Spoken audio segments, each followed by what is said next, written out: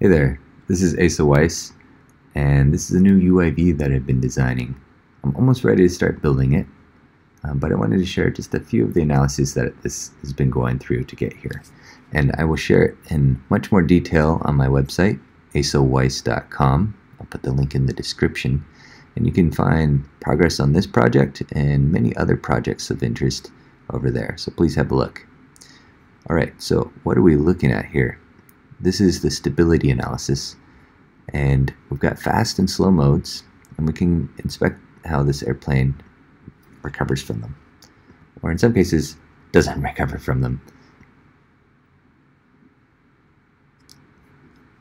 It takes a while for it to uh, dampen down from oscillations here but I'm not too worried with this mode because I think I can correct it with pilot input. The others, uh, it performs quite well. Now another interesting idea to think about when designing an airplane uh, is where to start from. And in this case, I started with what is cruise?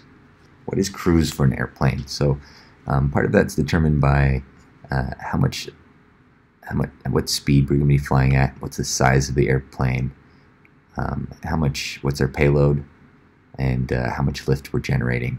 Uh, do we need to generate for that? So to determine that, we take a look at the uh, polars here, the polar diagrams, and get an idea of what is happening at trim flight. So at when you let your hands off the controls, what is happening oh, um, to the airplane?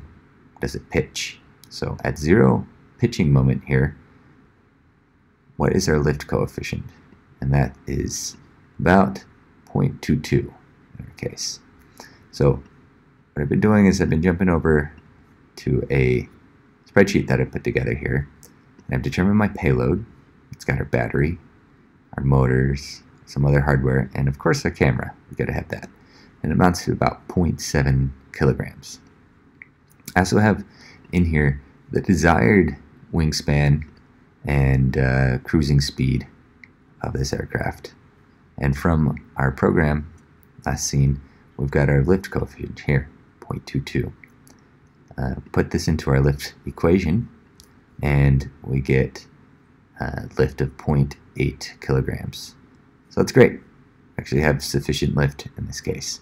The other question to think about is do we have sufficient power? So how much drag are we producing? Well, from our program we've also are able to determine what our drag coefficient is. We can run the equation on our uh, drag force and we find that we produce about 0.1 kilograms of drag force. So, is that a bad thing? Well, our motor produces up to 0.6 kilograms. So that's great. 0.6 kilograms at full throttle. Um, we're running at about 20% throttle. So where did this number come from, the 0.6? Did I just make that up? Well, a couple ways is I found this um, static thrust calculator and I can put in our propeller size and our RPM, which is going to be our motor KV times the battery. And that produces about 0.6 kilograms. So that's great. Another way to corroborate that is I looked at the data sheet of a very similar motor here. And we also see that at about 20% power, we produce about 100 kilograms. Great. So that that looks good. That all makes sense. And uh, I think our plane's going to be cruising along pretty good. Now, another interesting thing that I've been coming across for flying wings is uh, even the, the matter of stability. So this is something I'll get deeper into on my website or in another post. But um, flying wings are interesting because uh, to have a positive lift coefficient at zero pitching moment, uh, you need to employ some interesting ideas to the airfoil. And what that involves is uh, what, what you could use to help that is use wing washout or wing twist, as it's sometimes called. And that's where the tips of the wing actually tip downward.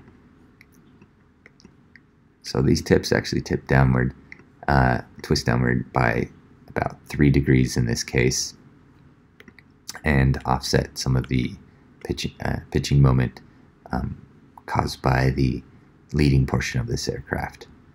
The other ideas to use, as you can see here, is um, a reflex airfoil.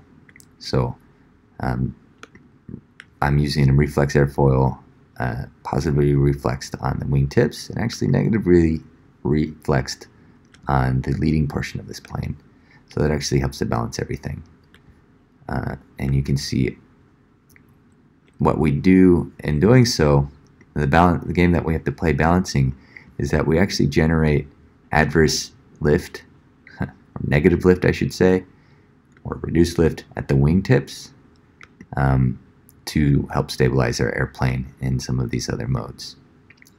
Alright, well I will continue sharing more about this project, um, especially the building portion of it, and uh, I've just finished building our uh, the, the hot wire cutter. I got some foam, I've got my motor, and everything else prepared.